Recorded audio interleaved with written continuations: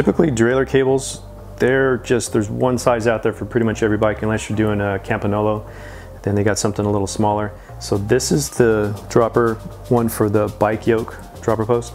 Um, definitely slightly smaller. If you can see that, but this guy's, it's a little bit narrow, just a little trimmer.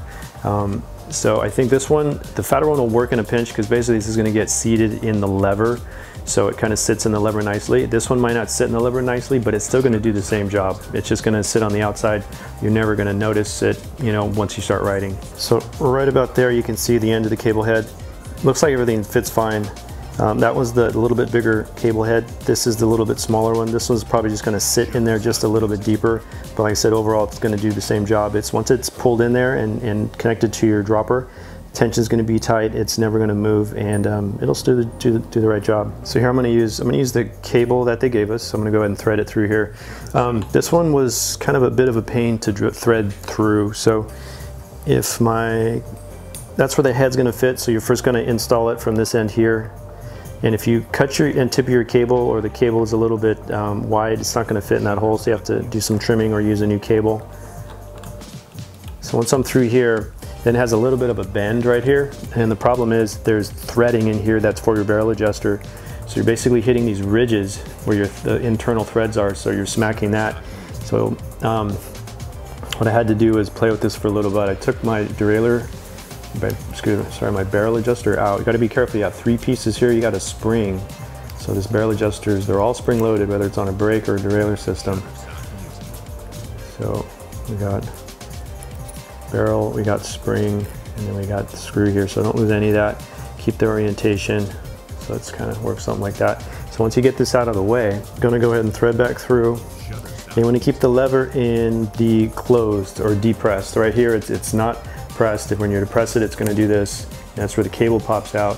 So what we're also trying to avoid is pulling this out and then putting a sharp bend on this, trying to go back in. If you're gonna do it, do it on the tip of the cable because it's most likely you're gonna be chopping the longer end of this cable off. But um, what I ended up doing is pull that out just a little bit.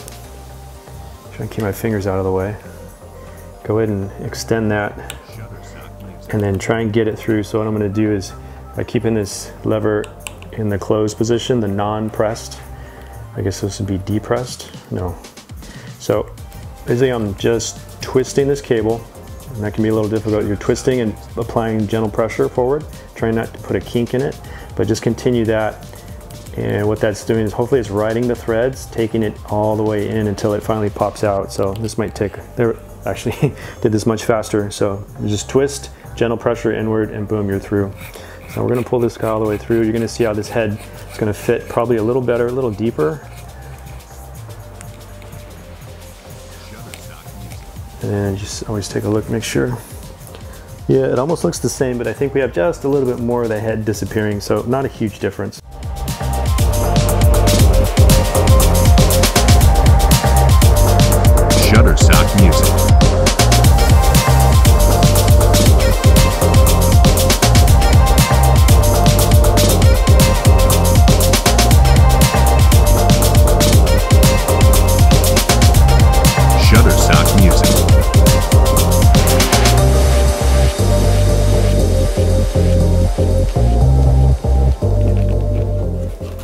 And make sure that head sits where it's supposed to.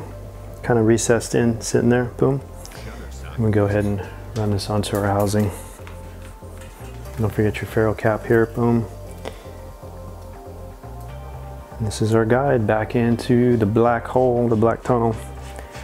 That's going to come out the other end there